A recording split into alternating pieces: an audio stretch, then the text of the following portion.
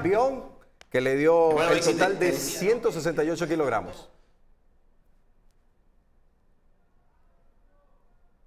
No, porque para ti es una satisfacción muy grande alcanzar este objetivo de este diploma. Sí, bueno, primeramente le doy gracias a Dios por permitirme estar en este lugar. Hemos trabajado duro para lograr la clasificación primeramente y después trabajamos duro para lograr este octavo lugar en estos Juegos Olímpicos. Es mi debut en unos Juegos Olímpicos, pero es mi segundo ciclo olímpico y tengo algo de experiencia en lo que es una plataforma grande, pero no en una plataforma olímpica. Es algo totalmente distinto, pero los nervios, bueno, Está que estuve bastante nerviosa, pero supe controlarme. Y bueno, gracias. Estoy eh, infinitamente agradecida con Dios. Ahora, Bexi, tu resultado es el mejor en la historia de las pesas femeninas de Venezuela.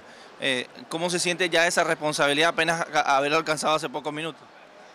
Bueno, me siento feliz, contenta y satisfecha. Pienso que no he defraudado a mi país ni a mi federación, que hemos ido avanzando y vamos a seguir mejorando. Eso te iba a decir, escalonadamente has ido avanzando, ¿no? Y, y creo que queda mucho de Bexi Rivas para, para dar que hablar, para intentar nuevos retos, ¿no? Por supuesto, rompí récord nacional en envión y vamos a seguir mejorando. Vamos a trabajar duro para, 2000, para Río 2016, para este nuevo ciclo olímpico que, que comienza desde el año que viene. Pero para las pesas comienza desde ya porque no nos debemos descuidar, tenemos que ser constantes y bueno, en la disciplina está todo. Tenemos que tener mucha disciplina y constancia y por supuesto fe en Dios. Desde que pisaste Londres, ahora que te vas, ¿qué es lo mejor que te llevas de esta ciudad? la gente. Verdad que lo que acabo de vivir ahorita fue algo muy maravilloso, la competencia fue excelente, la gente que se quiere tomar fotos con, con nosotros los atletas, verdad que me gusta mucho y lo disfruto, eh, lo he disfrutado al máximo.